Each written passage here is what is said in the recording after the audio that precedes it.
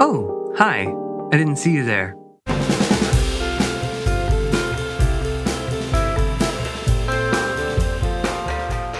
A compressor is a really important tool in your DAW. The word compress means to make something smaller. Whether you're using GarageBand, Logic, Pro Tools, or FL Studio, they all pretty much work the same way. But let's think about the compressor in GarageBand as an automatic volume knob. When your track gets too loud, the compressor turns it down for you. We use compression because humans are not perfect. Whether I'm hitting a snare drum, playing the bass, or singing a part, I can't sing every single part the exact same volume. I'm not really sure I would want to either. We use compression to help us even it out a little bit. So let's look at a hardware compressor and try and figure out what some of these knobs do. This is an FMR RNC. It's something like 180 bucks, but it's really cool. Here's our threshold knob. We use this to find the tip of the waveform. If we turn it all the way up, the entire waveform is compressed. If we turn it all the way the other direction, no compression happens. Here's our ratio knob. On this compressor, we can go from no compression all the way to 25 to 1. I'm going to set it at 4 to 1. That's a good starting point. This is the attack. By twisting this knob, you can set how quickly the compressor activates and grabs the waveform. This is the release knob. By twisting it, you can set how quickly the compressor lets go of your signal. This is our makeup gain knob. At the top, this bypass switch is really helpful. We can use it to turn the compressor on and off to hear what we're doing and compare. The gain reduction meter at the top of the compressor is one of the most important parts. Here you can see how hard your compressor is working. On this compressor, it goes in 2 dB increments. This is what no compression looks like. This is what lots of compression looks like. All these lights are going on.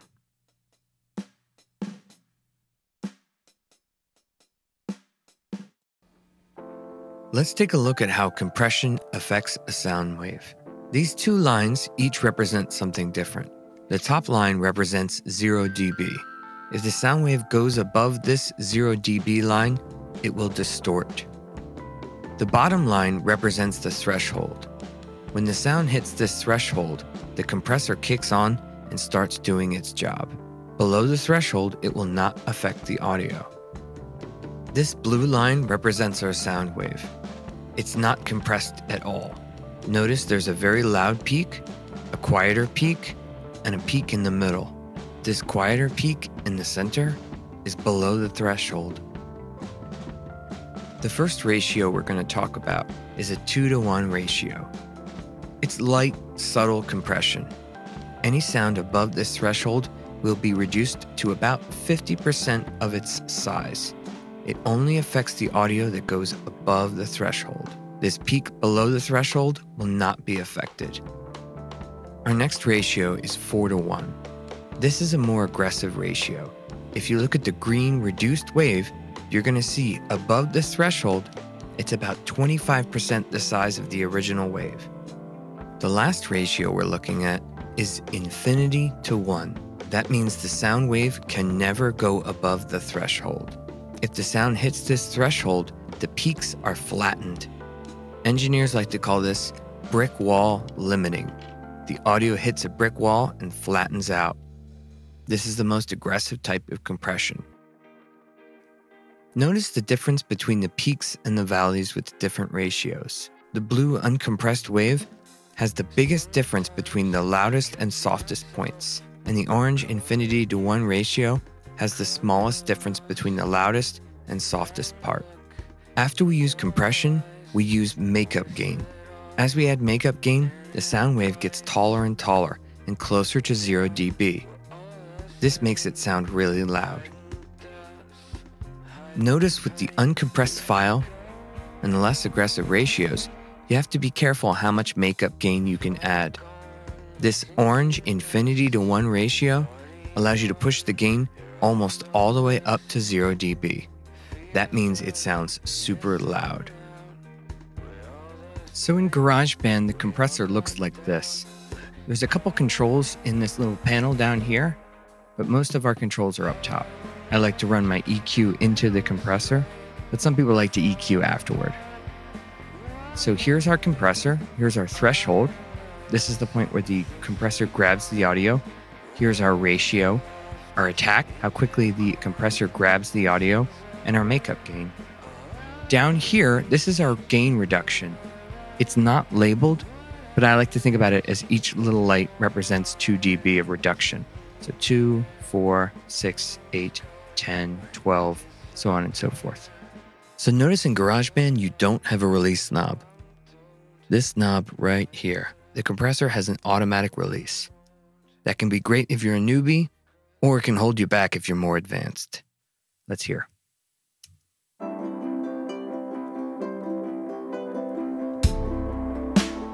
This is the vocal. You don't speak much to me these days. Now notice my, my attack is right in the middle. This is a medium attack. The fastest attack I can do is zero milliseconds. So the compressor grabs it super fast and, and starts compressing right away.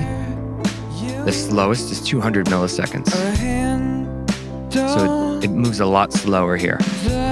Let's put it right in the middle.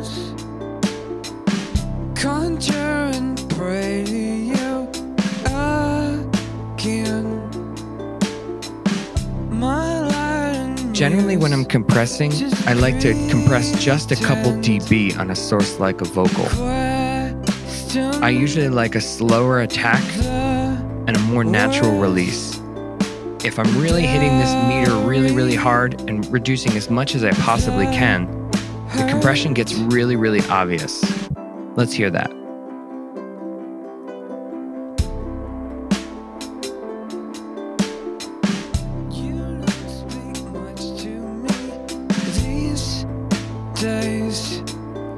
So the quieter parts get really loud, the louder parts get really squashed.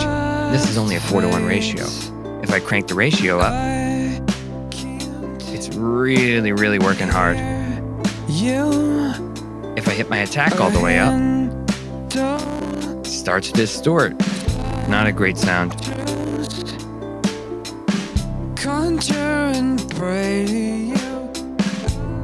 I can watch my meters down here to help me.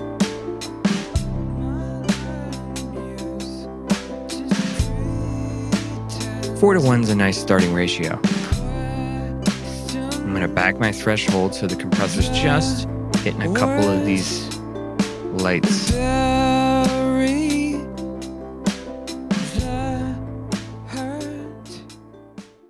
Now notice after the compressor, I am running a de-esser. This de-esser in GarageBand has a couple presets. I find it to be kind of counterintuitive sometimes. But this one kind of works well for my voice right here. You just crank this knob up and down to see how much you want. So no suppression.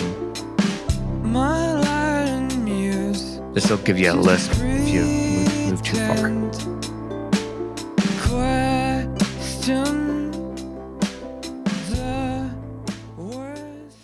Now, if you're really compressing a vocal aggressively, not only do you have to think about sibilance, using a de-esser, but sometimes you have to think about breaths. If you're hitting this compressor super hard, every breath that your vocalist is going to take in is going to be around the same volume as everything else. In this take, I edited all the breaths out. That's something that I like to do. You don't have to do that. So in this instance, I like to use EQ into the bass. I'm using a 10 to 1 ratio, a slower attack too.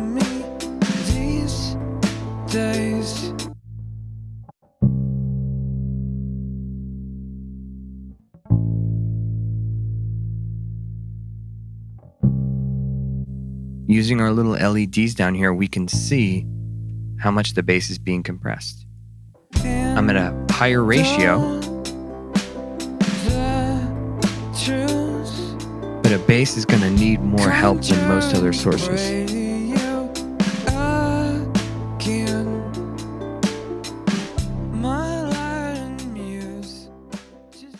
On this snare sample, the compressor is set at 4 to 1 ratio, medium attack, medium release. This is a moderate amount of compression. If I pull the ratio all the way to 25 to 1, drop my threshold, it works really, really hard.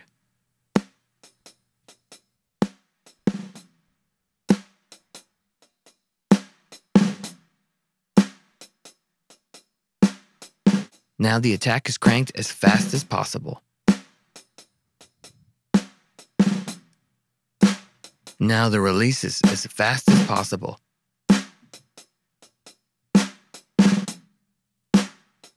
You can really hear the sound of the room with a fast release.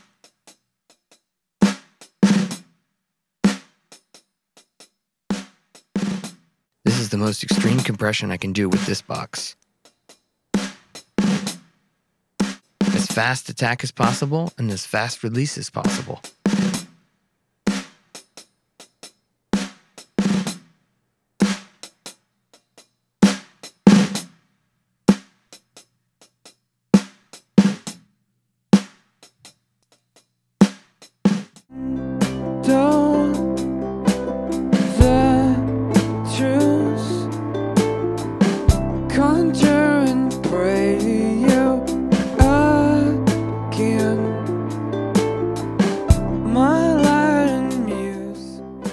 So a lot of this is going to be trial and error. Put the time in, you're going to get there eventually.